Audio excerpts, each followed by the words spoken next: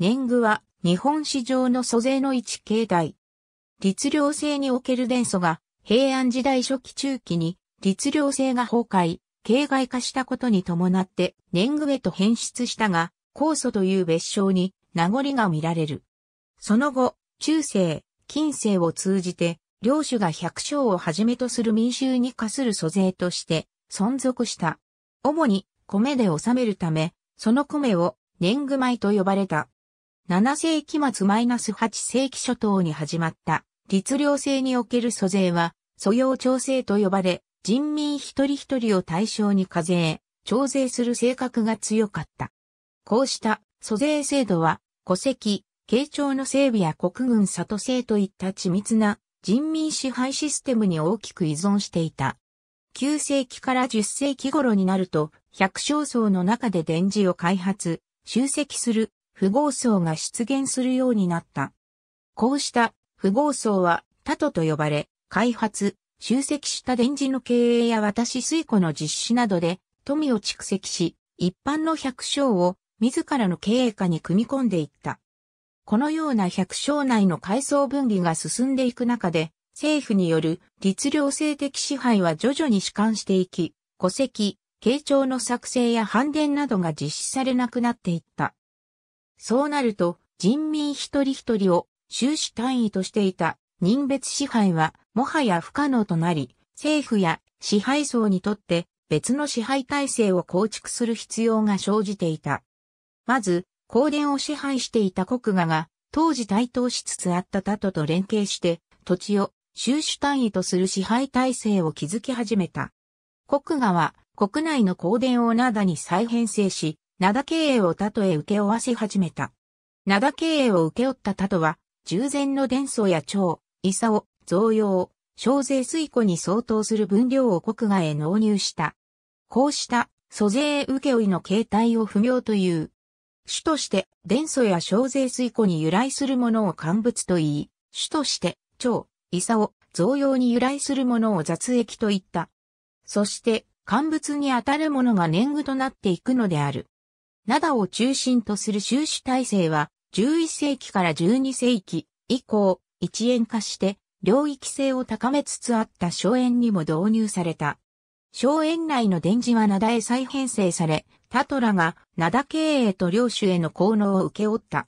領主への効能のうち、国画領でいう乾物にあたるものが年貢と呼ばれるようになった。こうして成立した年貢は、その後の中世、近世を通じて、支配層の主要な財源として位置づけられ、非支配層にとっては年貢を負担する義務が課され、続けたのである。鎌倉時代になると、商品経済が発展していき、貨幣流通が増加し、中には、戦火で年貢を納入する大洗脳が行われるケースも出てきた。ただし、そうしたケースは非常に稀で、仏納された年貢を召喚や自頭が換金することの方が多かった。また、未信が発生すると、召喚や自頭が領主に対して受け負った効能額を満たすために不足分の補填を行う場合があり、未信者との間に債権債務関係が発生する場合もあった。この時代には、くじ、自死などの効能が行われるようになり、これらと区別する意味で、本年貢、久保年貢とも呼ばれるようになった。女性や高齢者が免除される制度を悪用し、戸籍に虚偽の記載をした例もある。室町時代に入ると、貨幣経済が一層進展し、年貢の洗脳、大洗脳などの戦火による年貢納入が機内を中心に広く普及するようになった。また、召喚や自頭が経費や輸送費の転嫁あるいは自己の特分を増やすために公文や口前などの名目で各種の付加税を徴収した。戦国時代になると、貴族や自社によって守られた、荘園制が崩れていく。それに代わり、村や町といった自治組織が各地に出現。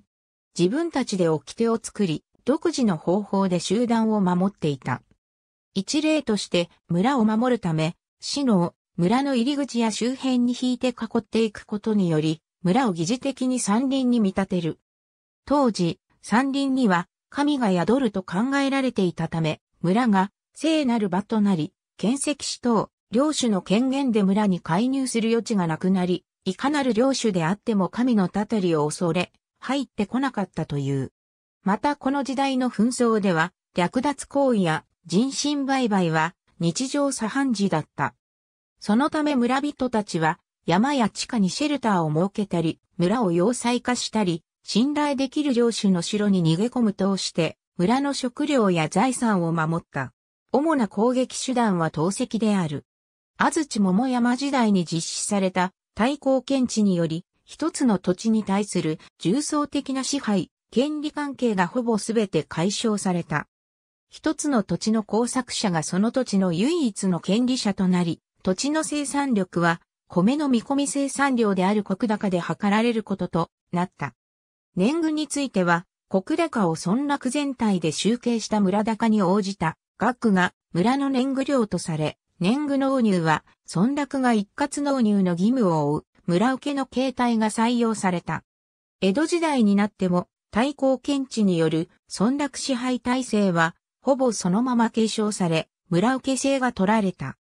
年貢徴収は他を視察してその年の収穫量を見込んで、毎年年貢率を決定する県見法を採用していたが、年によって収入が大きく変動するリスクを負っていたことから、江戸時代中期頃になると、豊作、不作に関わらず一定の年貢率による上名法が取られるようになった。だが、例外も存在した。米が取れない地域の一部では、二十歳に対する特殊な年貢付加方法である、畑片面の採用や商品作物等の売却代金を持ってよそから米を購入して、納税用の年貢に充てるという買い納め制が例外的に認められていた。だが、江戸時代中期以後商品作物の生産が広まってくると、都市周辺部の農村など、本来は米の生産が可能な地域においても、うやむやのうちに買い納め制が行われていき、江戸幕府さえもが事実上の黙認政策を取らざるを得なくなった。1873年の地租改正により、年貢の名称は廃止されることとなる。しかし、その後も小作料を年貢と呼ぶ慣習が残った。敗戦後、地租は固定資産税という名称に代わり現代でも事実上年貢にあたる税はある。日本語では物事を諦めなくてはならない時のことを年貢の納め時という。何とかして年貢納入を回避しようと庶民が必死に努力していたことを物語っている。2、中世、中国四国農政局。www.maf.go.jp。2021年5月17日閲覧。タイムスクープハンター2013年7月27日放送分、村を守れ。投石バトル番組内説明。ありがとうございます。